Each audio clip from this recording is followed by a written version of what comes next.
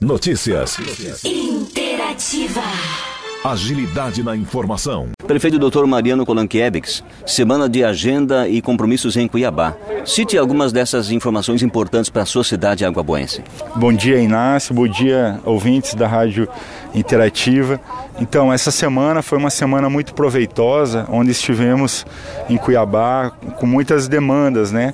É, desde sexta-feira, junto com a deputada Janaína Riva, com os deputados Carlos Bezerra, né, os senadores e o governador, pudemos fazer é, algumas reivindicações para a nossa cidade. Então, na área da educação, né, estamos aí em fase de conclusão para realmente implantarmos em nosso município a escola militar. A escola militar, no primeiro momento, vai começar com algumas turmas lá é, no prédio da UAB. Aulas essas que já têm é, previsão de iniciarem já no meio do ano. Isso né, é uma, é uma solicitação, uma confirmação junto ao secretário Alain Porto. Além, é, depois desse primeiro momento da escola militar iniciada lá, com a conclusão da escola técnica estadual aqui até o final do ano, estaremos mudando, né, onde que essa escola técnica vai ser uma parceria entre a escola técnica militar, a escola técnica e a escola militar. É, na área da educação também é, estamos agora fazendo né, é, o planejamento para fazermos as reformas das duas escolas, né? Então, o governador quer dar uma qualidade maior às escolas estaduais, né, para que os alunos fiquem cada vez mais incentivados e com todas as condições, né, para ter um estudo melhor. Então, a gente vai estar organizando agora os dois projetos de reforma na escola Antônio Gres e na escola 9 de Julho. Uh, na área uh, da saúde, né, estive pessoalmente com o governador Mauro Mendes, onde ele confirmou que a gente pode né, uh, fazer, dar continuidade, então fazermos aí todos terminar todo o projeto para a ampliação do hospital regional.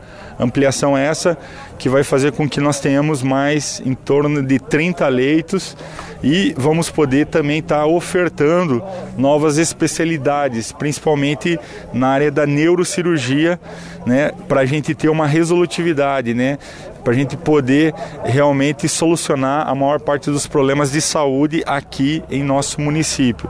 Então, essa questão aí em relação à saúde, essa ampliação do hospital, trazer mais especialidades vai ajudar muito né, a área da saúde em nosso município.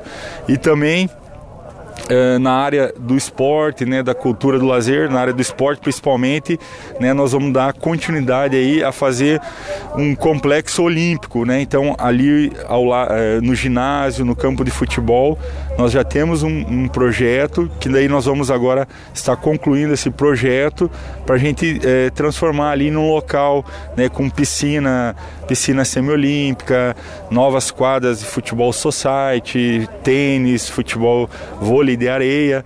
É, para gente o atletismo, né, para a gente estar tá abrangendo aí todos os esportes em nosso município num local com todas as condições, né, um local adequado para a prática esportiva.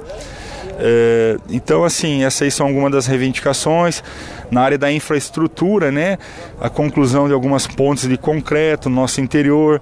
Uh, estamos também uh, apresentando né, o projeto para nós uh, fazermos a, a continuação da BR ali 240 e, e da 414, né? Então, em sentido ao Piá Jaraguá, em sentido à Serrinha, né? Mais alguns quilômetros que nós estamos reivindicando, estamos apresentando o projeto para dar continuidade né, ao asfalto naquelas localidades.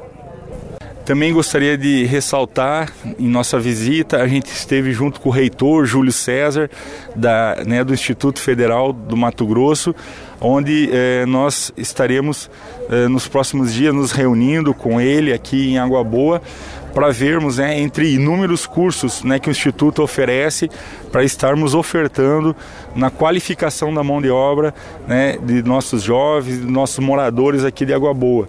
Então, nos próximos dias, estaremos vendo quais são os cursos, né, quais são me os melhores cursos para atender a demanda, a necessidade na questão do ensino, ensino superior também em nosso município. Uh, falando em relação ao, ao, nosso deputado federal, Carlos Bezerra, ele já está destinando uma emenda no valor de um milhão de reais para custeio na saúde, ou seja, nós teremos né, um milhão de reais aí para investimentos, investimentos na área da saúde, né, nas mais diversas áreas que vão estar contemplando muito a saúde do nosso município.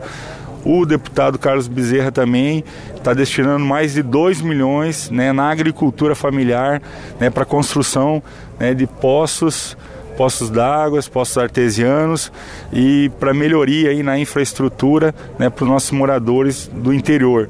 Então, eh, nos próximos dias aí, eh, conseguindo a liberação dessa emenda junto ao governo federal, estaremos aí proporcionando ao nosso pessoal do interior aí muitas melhorias para eles.